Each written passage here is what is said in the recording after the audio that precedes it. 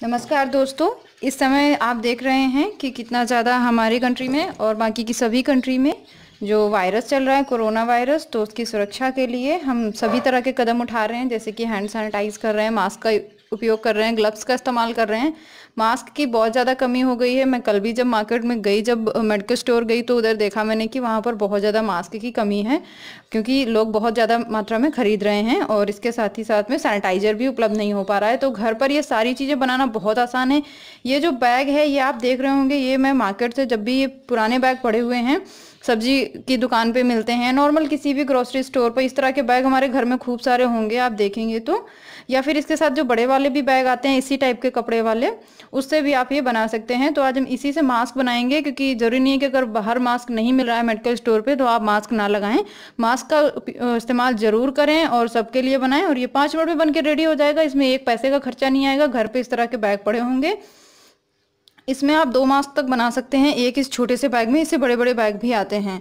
तो प्लीज़ मेरी रिक्वेस्ट है, आप सभी से मास्क वगैरह का इस्तेमाल ज़रूर करें। हैंड सैनिटाइज़र को दिन में आप 10 से 12 बार हाथ सैनिटाइज करें। तो सैनिटाइज़र का वीडियो मैंने आपके साथ शेयर किया है कि उसे भी घर पर कैसे बना सकते हैं। बहुत कम पैसे में, दस बीस रुपये में ही आप बना सकते हैं। तो आइए बनाना शुरू करते हैं। इस तरह का एक बैग ले लीजिएगा। अगर गंदा हो बैग तो उसे धो लीजिएगा और सुखा लीजिएगा। इंची टेप लेंगे अब हम। इंची टेप ना भी हो तो भी आप आइडिया से सात, साढ़े सात इंच के लगभग में अब हम इसे काट लेंगे। थोड़ा थोड़ा मार्जिन छोड़ देंगे आधा आधा इंच का। साढ़े सात इंच की लंबाई रखेंगे यहाँ से और इसे अब हम काट लेंगे। एक, पहले हम अच्छा सा कपड़ा निकाल लेते हैं, जिससे हम बनाएँगे बैग को तो पहले इसको काट लेते हैं। बस सीधा सीधा ही काटना है।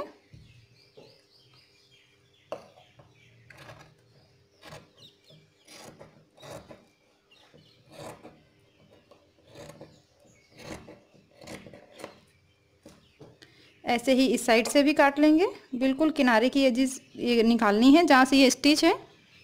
ये देखिए, इस तरह का एक हमारे पास कपड़ा मिल गया है। हमें इसे डबल लेयरिंग नहीं करनी है। आप चाहे तो डबल लेयरिंग भी कर सकते हैं, लेकिन मैं इसको सिंगल लेयर पे ही बनाऊँगी। तो अब हम क्या करेंगे?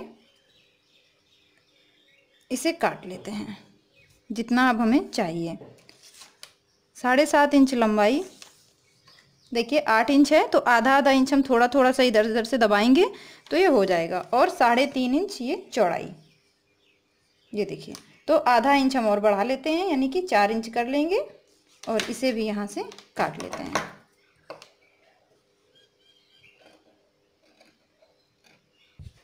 देखिए, ये हमारे पास एक कपड़ा हमें मिल गया है। अब आप चाहे तो इसे एकदम सिंपल बना सकते हैं, ऐसे ही साइड से स्टिचिंग करके।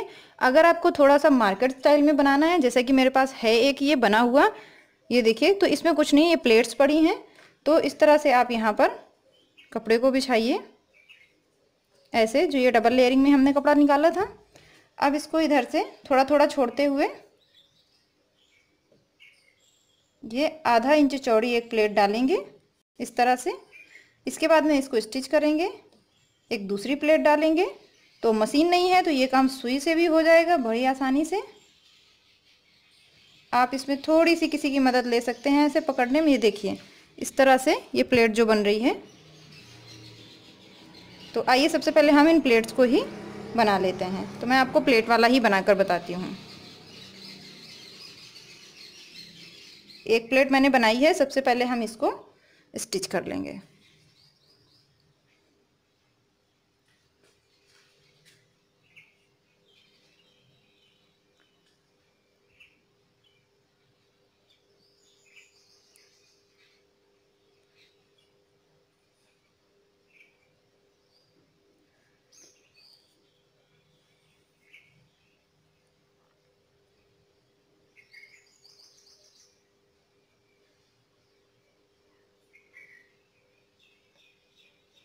तरह से, एक साइड से हमने स्टिच कर लिया। अब दूसरी साइड से इसी तरह की प्लेट बना लेंगे।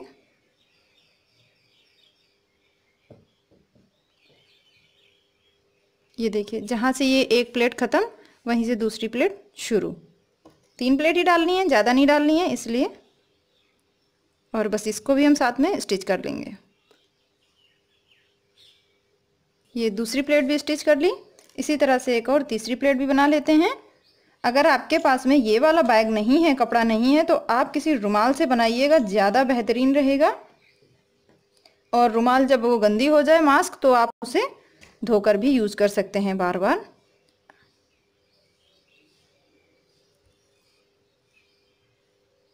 और दूसरी साइड से हम इसे लॉक करके काट देंगे। अब देखिए, ये प्लेट बन गई है। अब इन्हीं प्लेट को अरेंज करते हुए दूसरी साइड पे बना लीजिए। एक साइड जब आप कर लेंगे स्टिच तो हो जाएगी आपको बहुत आसानी दूसरी साइड के प्लेट्स बनाने में। तो मैं तब तक दूसरी साइड से करती हूँ। देखिए, इस साइड की प्लेट भी रेडी है। पीछे से लॉक कर देते हैं। इस समय घर पर कोई काम भी नहीं होगा। घर पर ही सब लोग ज़्यादातर रह रहे हैं। ऑफ़िस की छुट्टियाँ हैं। तो आप लोग बनाइए इसे। अगर आपके पास मशीन नहीं है तो मेरी तरह इस तरह सुई धागे से बनाइए और अपने परिवार वालों को भी दीजिए और कोशिश हो सके तो अपने आसपास के लोगों की भी आप मदद कीजिए। तो ये देखिए, हमने प्लेट्स बना ली। अब हम थोड़ा सा आप इन्हें सफ़ाई से काट लीजिए ऐसे। बराबर करने के लिए। और अब ये जो बाहर की साइड से दिख रहा है ऐसे उल्टा, हम इसे थोड़ा पलट देंगे। अंदर की तरफ़। आप इसमें प्रेस कर देंगे तो एकदम चिपक जाएगी ये।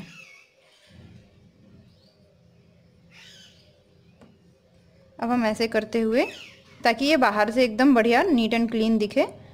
इसे दोहरी लाइनिंग भी आप दे सकते हैं, या सिंगल लाइन के साथ भी। इसे एकदम बारीकी से सिल लेंगे। इस तरह से। देखो।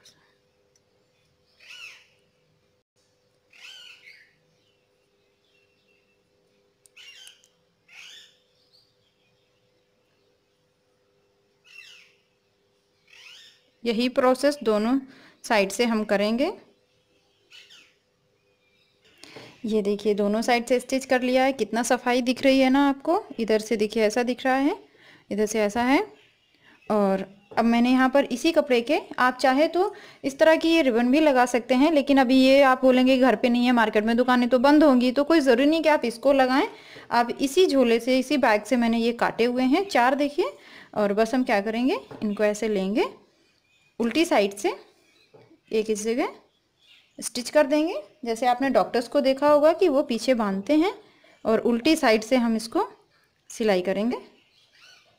इसको लॉक करना है। ऐसे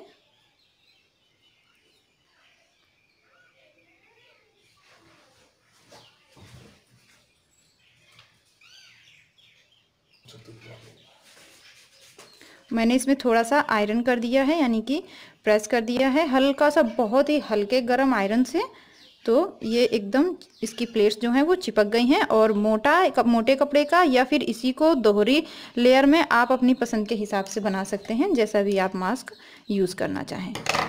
इसको मैंने इधर लॉक कर दिया ये देखिए। और अब दूसरे वाले को भी इसी तरह से हम लॉक कर लेंगे। इस जगह इस कॉर्नर पे अगर ज़्यादा चौड़ा बना रहे हैं तो बहुत ज़्यादा कॉर्नर पे ना लगाएँ, थोड़ा सा अंदर की साइड ही लगाएँ। ये लीजिए हमारा मास्क रेडी हो गया है पाँच मिनट में। और आप चाहे तो आपके घर में मशीन हो तो इस साइड से भी आप इसको ऐसे अंदर की साइड पे फोल्ड करके सिलाई कर सकते हैं। लेकिन अगर आप जल्दीबाजी में हैं और अगर आप यहाँ भी नहीं सिलना चाहते तो ग्लू गन से या फिर हॉट ग्लू गन होती है, उससे ये सारी चीज़ें आप चिपका भी सकते हैं।